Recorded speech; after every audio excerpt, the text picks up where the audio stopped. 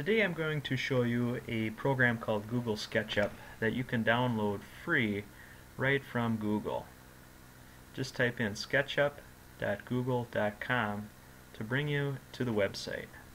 Once you've downloaded it, you can create 3D models like I did here of this box. It's very similar to the uh, treasure chest project that my students make. Uh, they draw a very similar thing and they even add, an, add a lid to it too. You can put this in 3D mode and you can actually see through it also. Well, let's take this one off of here and I'll show you how to make a new one. I'll just select it and delete it. I'm going to use the uh, rectangle tool.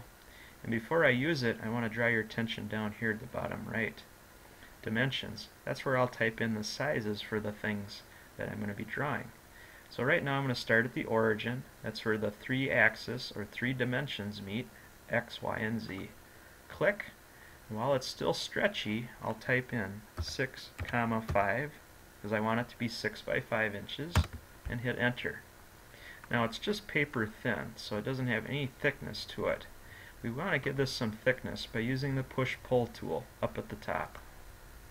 Click on it, and while it's still movable or stretchy, I'll type in the size. I want it to be half inch.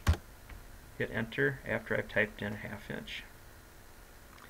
Now we can see that we have this. It would be like a board that's uh, 6 by 5 and I want to give some sides to it so I'll use the offset tool right here on the left hand side.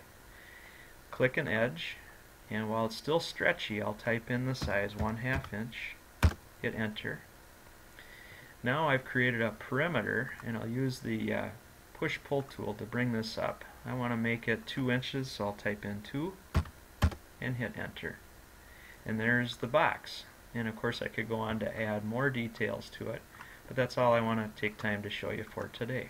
Thank you, I hope you enjoyed it.